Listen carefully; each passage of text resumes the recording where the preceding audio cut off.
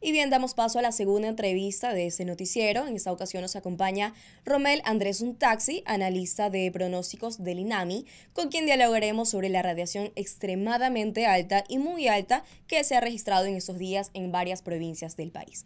Buen día, Romel. Le saluda Valeria Gómez. Buenos días. Bueno, cuéntenos un poco, eh, Romel, el, el, INAMI ha reportado ¿no? justamente radiación extrema, alta y muy alta en los últimos días e incluso parecería que en los próximos también se viene este reporte, ¿no? Hoy también lo han registrado de esa manera.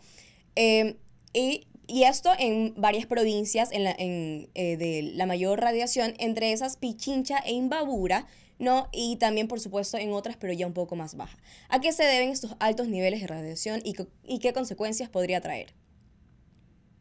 Bien, entonces los altos niveles de radiación se dan en las provincias de la región interandina debido a que se encuentran una mayor altitud sobre el nivel del mar, entonces hay una menor porción de la atmósfera que absorbe esta radiación. Por eso es que en Pichincha y en Babura se alcanzan los niveles extremadamente altos y estos valores se dan principalmente a lo que es el mediodía.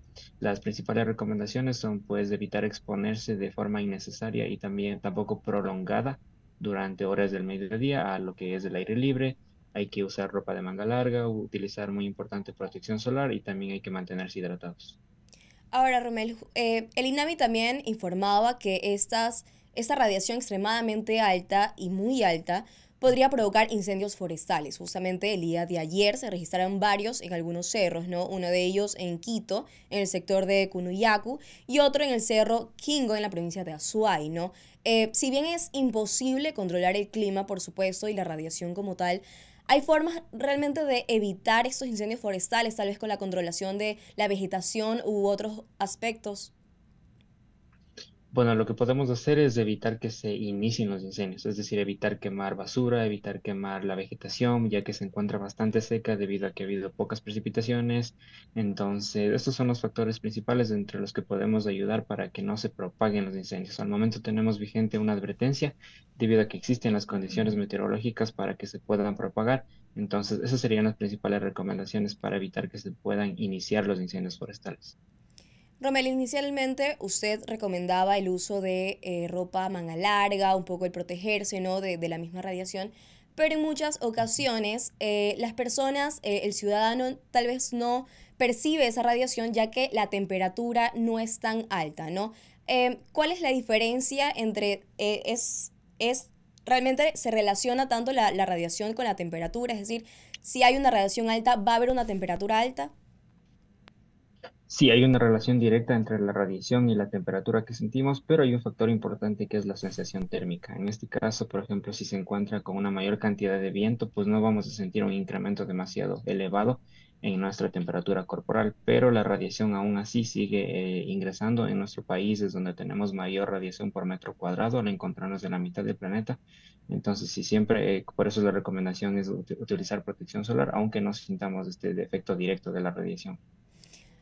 Ahora, Romel, si bien en los últimos meses se han registrado ¿no? Eh, realmente niveles extremos de radiación y también, como mencionábamos, temperaturas muy altas en abril e incluso llegó a, a, a los 40 grados, ¿no? Pero Ecuador podría llegar a registrar las temperaturas que se registraron en Europa. Recordemos que meses atrás Europa pasó por una ola de calor eh, realmente extrema, ¿no? Eh, y, y, y, realmente afectó a, a varios en varios aspectos a, a, este, a, a, Europa como tal, ¿no? Ecuador podría llegar a registrar estos niveles tan altos de temperatura. A estos niveles tan altos no, se puede llegar a los que, extremos que vimos en abril, pero en otros lugares, por ejemplo en Europa, se debe a factores de su ubicación con respecto al planeta, entonces ellos se encuentran en una latitud diferente y pues su clima también es diferente. En lo que es Ecuador, durante todo el año, pues mantenemos una relativamente igual cantidad de horas de sol, entonces la temperatura, si bien puede aumentar, no puede llegar a niveles tan extremos como se han dado en otros países. Ahora cambiando un poco de, de, tema, ¿no? el Instituto Geofísico de la Escuela Politécnica eh, Nacional había registrado un aumento de la actividad del volcán Sangay en las últimas semanas, Romel, ¿no? Incluso en uh -huh. esos días había registrado eh, caída de ceniza en Chimborazo, específicamente en Cumandaya, Lausí, y en la parte de Guayas, eh, específicamente en Naranjito, ¿no? Todo se adjudica a la fase eruptiva en la que está este volcán desde 2019, Pero explíquenos un poco de esta fase y qué otros fenómenos se podrían presenciar durante esto. Bueno, la competencia específica de la, la, actividad volcánica del Sangay es del Instituto Geofísico. Lo que nosotros podemos eh, evaluar son la dirección de los vientos, eh, también nosotros monitoreamos la cantidad de cenizas que se pueden presentar, ya que esto puede ser un factor para que se den lluvias. Entonces, por el momento no tenemos identificado que pueda ayudar, ayudar a que se den lluvias intensas. Entonces, lo que monitoreamos por el momento es la velocidad del viento y hacia dónde se podría transportar las cenizas en el caso de que se emitan y pues también cuál sería la, la intensidad que se pueda presentar del viento principalmente, que es nuestra competencia. Eso es lo que monitoreamos y al momento nos encontramos elaborando boletines para poder compartirlos con las diferentes, diferentes instituciones como también el Instituto Geofísico. Ahora, Romelo, usted mencionaba de lo de las lluvias, ¿no? Si bien eh, se prevé una sequía, ¿no? Se prevé realmente eh, que no haya lluvia, sin embargo, inicialmente a inicios del año se mencionaba que tal vez esto no iba a ocurrir debido al fenómeno del niño. Realmente el fenómeno del niño llegó a afectar, incluso también lo relacionaban con el calentamiento global, ¿no? Pero realmente en los próximos meses se viene una sequía completa.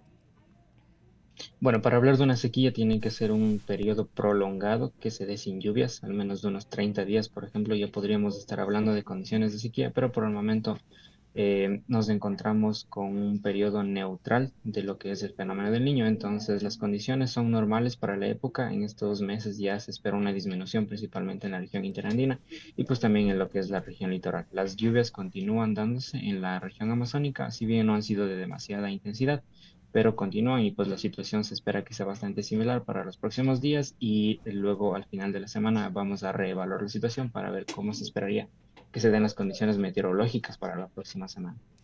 Listo, Romel, muchísimas gracias por esta entrevista. Realmente importante informar a la ciudadanía la, la radiación, ¿no? Inicialmente el tema que tratábamos en esta entrevista, de tomar las precauciones, como usted mencionaba, el uso de ropa, el de protector solar, entre otros aspectos. Muchísimas gracias por la entrevista. Esperamos tenerlo en una próxima ocasión. De nada, con mucho gusto. Hasta luego. Bien, estuvimos con Romel Andrés un taxi, analista de pronósticos del INAMI, con quien dialogamos sobre la radiación extrema que se ha registrado en estos últimos días en varias provincias del país.